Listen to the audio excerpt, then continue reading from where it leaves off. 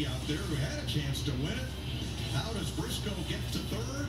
And how does the 23 get to second?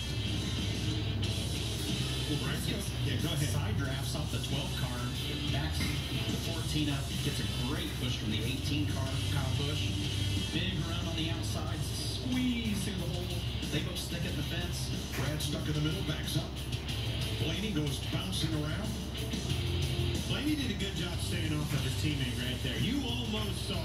Snapshot of what happened last year, just rules reversed.